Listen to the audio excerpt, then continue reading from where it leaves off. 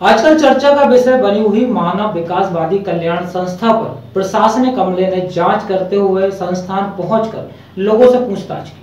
कई शिकायतों के बाद आज इलाइट चौराहे पास स्थित मानव विकासवादी कल्याण संस्थान पर पुलिस व प्रशासनिक अमले द्वारा जाँच की गई। दरअसल यह संस्थान कई बेरोजगार युवकों से रकम जमा कर उन्हें नौकरी देता है और अन्य लोगों को कंपनी में नौकरी दिलाने का लक्ष्य भी दिया जाता है। बेरोजगारी के चलते युवक तीस से चालीस हज़ार रुपए जमा करके नौकरी तो पा लेते हैं। लेकिन इसके बदले में उन्हें एक माह में दो या उससे अधिक लोगों को जोड़ना होता है और इतनी ही रकम जमा कर नौकरी पाई जा सकती है। नौकरी की चाहत में एक के बाद एक नवयुवक कंपनी से जुड़ रहे थे।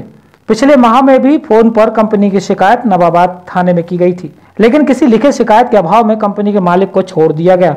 पिछली बार भी हमने इस खबर को दिखाया और एक सवाल उठाया था कि बिना किसी सरकारी अनुदान या मदद के आखिर ये कंपनी इतने लोगों को सैलरी कैसे और कहाँ से दे रही है?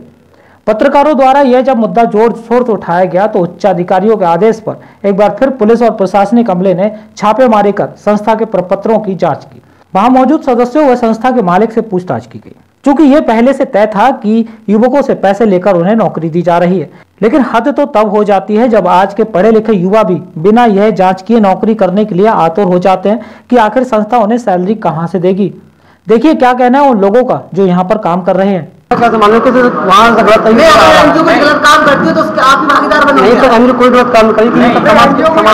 मेरे पास डिटेल आती है डिटेल आई उन्होंने कहा मेरी पासबुक दे देना साइन करके दिए उन्होंने वहाँ बैंक में ठीक है? बाकायदा आप बैंक जाइए पूछ लीजिए उन्होंने साइन करके दिए मेरे पास बैंक से फ़ोन आया उन्होंने कहा इनकी पासबुकें वितरित कर देना।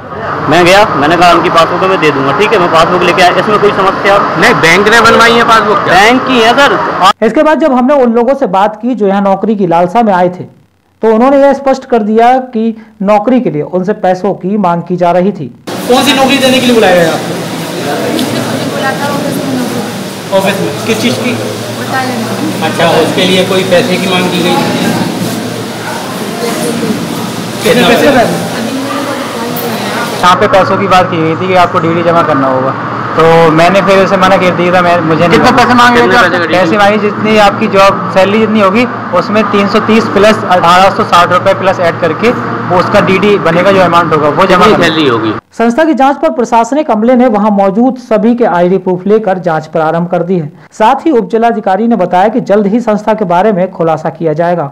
जी पिछले कुछ दिनों से लगातार शिकायत प्राप्त हो रही थी कि मानव विकास संस्थान के नाम से जो यहाँ पे एनजीओ चला जा रहा है उसमें किसी भी अवैध तरीके से लोगों से पैसे लेके उनको नौकरी का वायदा किया जा रहा है और एक चीट स्कीम टाइप की कुछ यहाँ पे कार्रवाई यहाँ पे की जा रही है।